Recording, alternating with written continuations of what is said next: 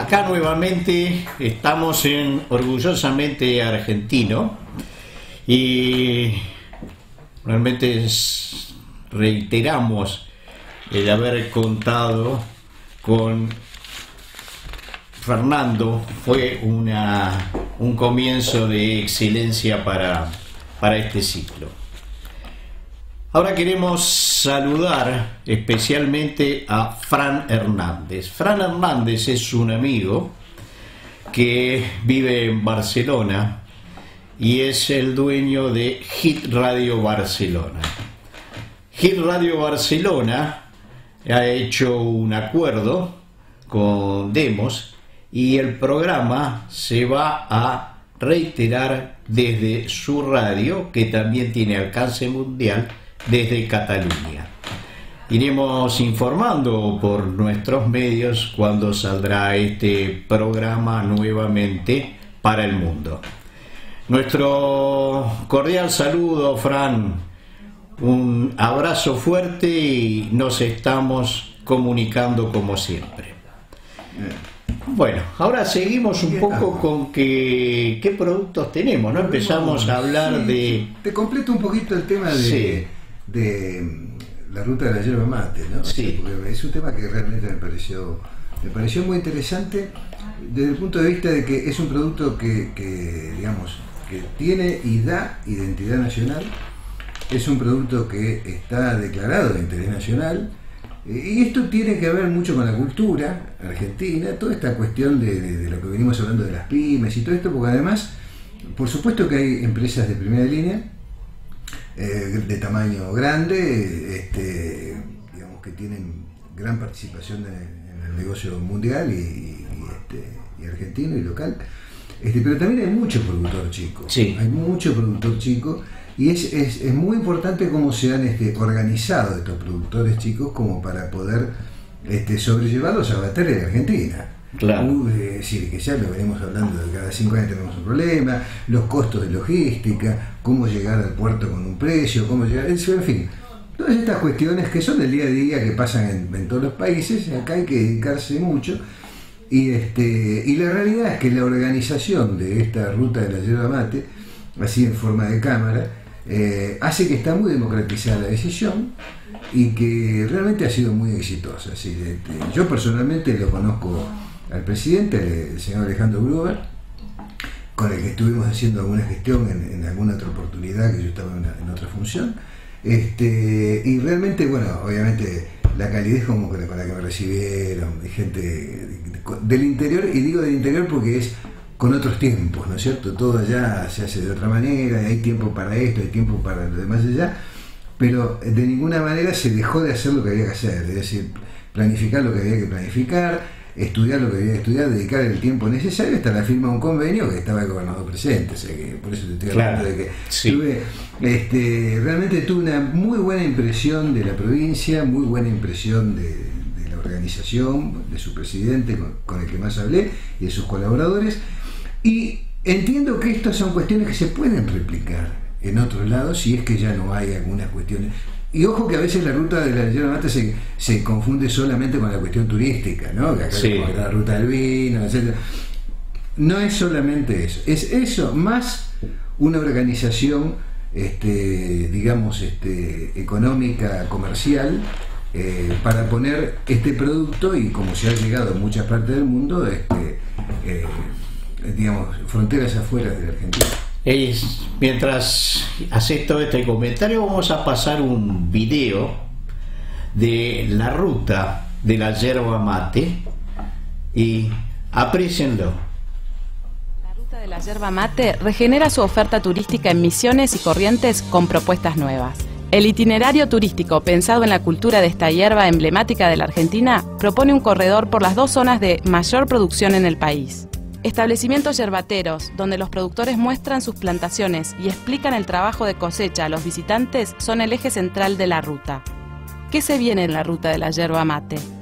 Alejandro Gruber, presidente de la asociación, nos lo cuenta. Estamos trabajando con la CONAPLU, con los directivos del Ministerio de Turismo de la Nación, avanzando con la postulación de la ruta de la yerba mate como patrimonio mundial de la UNESCO, que traería grandes beneficios porque protege un bien muy preciado de todos los argentinos, como es la yerba y el mate, que cultural e históricamente tiene su origen en la tierra colorada, al lado de las misiones jesuítico-guaraníes en Misiones y Corrientes. Es muy importante por una cuestión de reivindicación de nuestros valores, de nuestra esencia nacional, considerando que la yerba mate y su ruta se constituyen como el bien más antiguo, autóctono, auténtico y originario del país, anterior incluso a la creación del virreinato del Río de la Plata. En realidad representa, por supuesto, a los países del Mercosur y en especial a los países productores de yerba mate. Incluso se está pensando en extender esta nominación para lo que es Uruguay, Brasil y Paraguay, porque incluso así tendría mucho más impulso y mucho más peso en Francia, en la UNESCO. Y los beneficios son incontables porque en realidad tendríamos una promoción permanente de la ruta de la yerba mate y el mate argentino y latinoamericano que en este caso se podría visitar y promocionar su conocimiento en misiones y corrientes en la ruta de la yerba mate y su consumo por supuesto en todo el país. Una cadena de alojamientos, locales gastronómicos, actividades rurales y de entretenimiento reúnen al visitante a un protagonista único, el mate. La oferta completa búscala en www.rutadelayervamate.org.ar. Informe Radio Nacional Buenos Aires, realización Dolores Yoma y Juan Pablo Nuevamente acá, después de haber visto este video que es tan representativo, eh, nos muestra una parte de, de nuestro país y nos muestra un producto que es ícono para los argentinos. Juan, ¿podremos tener a algún representante de la industria? Sí, vamos a tener, si Dios quiere, este, justamente comentando, eh, digamos, el lanzamiento del programa nuestro, yo me comuniqué con, con Gruber este, un poco para, para irlo convocando dentro de los próximos este, eh, invitados, en la medida que se dé la posibilidad, lógicamente, y y bueno, me, digamos, me dijo que era muy probable que sí, que, digamos, no podía tomar compromiso de forma inmediata por un problema de, organización, pero que, que sí, me, habilitó a, pasar los, videos, o sea, para mostrarlo, o sea, se puso totalmente a disposición, así que ahí en algún momento, lo vamos, si Dios quiere, lo tendremos a él o a algún enviado de él, este, este representante del grupo, como para poderle preguntar, e inclusive el oyente, este, preguntarle como lo han hecho desde todas partes de, Así es. Este, Justamente vos sabés que me quedé pensando con este llamado que recibimos de Cuenca, España, con la procesadora de agua de mar acá en el país. Vos sabés que en España, no es casual, por eso es el llamado, eh, hay una industria de agua de mar que se embotella y se vende. Desde el punto de vista de salud, está totalmente demostrado que contiene el agua de mar 102 oligopolios. Prácticamente hay testimonios científicos, los famosos papers, que están indicando de que una persona puede alimentarse con agua de mar. Interesante. Además es un tema de que está tomando mucho auge en el mundo y poder tener una procesadora en la Argentina para poder exportar sería una maravilla. Y sí, y sí, claro que sí. Bueno, que estas son las cosas que yo creo que van a empezar a pasar este, de aquí en más. Este, y yo soy muy, muy positivo este, en el pensamiento de que sea quien fuere, este, digamos, la línea política que, que se haga cargo del país después de las elecciones, es decir, hay un camino, prácticamente hay, prácticamente hay un solo camino, o sea, que se puede ir de una forma o de otra, pero si queremos, es decir, la primera diferencia es estamos en el mundo, no estamos, pero si estamos en el mundo, después hay matices, que bueno, hay, que ubicarse, Pero yo creo que en cualquier caso, el camino es este que aparezcan el tema de, del agua de mar, que, se pueda meter más hierba. Si hoy metemos 100, que metamos 200, ¿viste? Así es. Eh, eh, digamos, ir facilitando todo lo que son los costos de infraestructura, transporte. se está haciendo, se está haciendo con la habilitación de ferrocarriles, Sí, este, sí. se está regulando el tema de, de los camiones, pero bueno, son cosas que tenemos, la Argentina se tiene que ir acomodando Pero vos- y es así. Fíjate que en trabajo. realidad creo que siempre te movilizan desde, desde afuera, ¿no?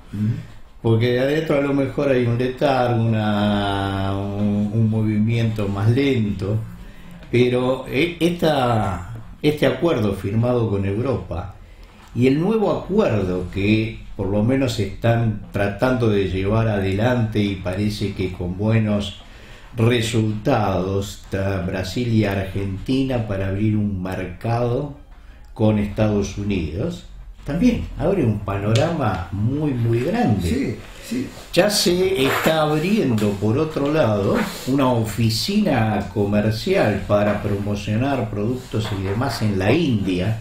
Quiere decir que hay distintos puntos donde se está originando la necesidad, señores, a levantarse, A levantarse. a, a producir. Y yo quiero volver sobre un tema que lo, lo pasé anteriormente, que es el tema de la, digamos, de, de- de esta nueva ley de, de economía del conocimiento, Sí. que, que se acaba, que está firmada, que falta regularla, que se está trabajando en la regulación, estima- estimativamente antes de fin de año ya va a estar firmada. Pero yo soy un, este, digamos, un tipo que apoyó, apoya mucho todo lo que es tecnológico, básicamente por un tema. Hablamos también por otras circunstancias de temas de confidencialidad, de temas de confianza en el exterior, etcétera. Este, y tiene que ver con pérdida de valores, bueno, y hay opiniones de, de todo tipo. Re- recomponer una situación de ese tipo son muchos años, son años, Sí. son generaciones, son... ¿Dónde tenemos nosotros un elemento catalizador para poder ganar tiempo? Es decir, no tenemos que esperar 300 años para ganar la confianza de vuelta de los mercados internacionales. En la tecnología. Tal cual. Porque la tecnología tiene la capacidad de, demo- de democratizar el conocimiento.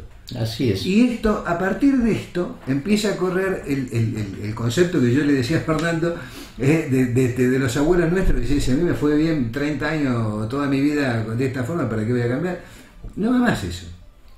Entonces, las experiencias que tuvimos sobre el pasado van, no, no, no van a tener el mismo peso. No quiere decir que desaparezcan, obviamente. Los valores no desaparecen, los valores No. son valores. Que quede claro, que no se me malentienda. Los valores son valores y eso no se modifica.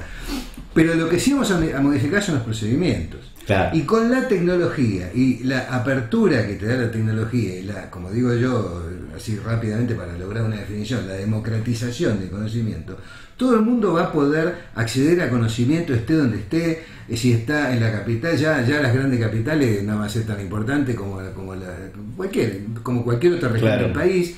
Y todo esto nos va a permitir ganar tiempo. Y como además vamos a tener que hacer lo que hay que hacer, porque no vamos a tener otra, otra lo que el mundo decida. Y nosotros tendremos nu- nuestro voto en ese tipo de decisiones de acuerdo a, no lo sé, pero vamos a tener alguna participación. Bueno, en, ese, en esa línea de pensamiento, yo creo que la Argentina tiene un futuro impresionante. No te quepa duda. No te quepa duda y vamos a seguir eh, yendo por el camino de la variedad de los productos que tenemos acá en el país, como eh, nogales, vitivinicultura, eh, cereales, semillas, semillas orgánicas, que es muy importante, que se están exportando ya. Eh, hay una cantidad de productos que se desconocen, como así hay empresas que a lo mejor muchos argentinos no saben, pero hay una empresa de válvulas que hace ya más de 20 años está haciéndole las válvulas a, a la automotriz Ferrari. Ferrari. A Ferrari. Y la hace acá, acá en la Argentina.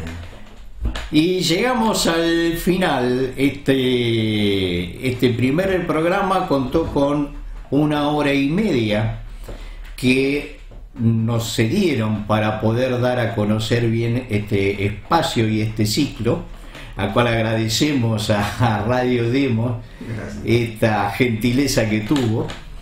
Pero a partir del miércoles que viene estaremos presentes de 16.30 a 17.30 hora argentina, es decir, 16.30 pm, 17.30 pm. Eh, saben que nos van a poder ver también por Hit Radio Barcelona, que iremos anunciando cuando va a aparecer este programa nuevamente.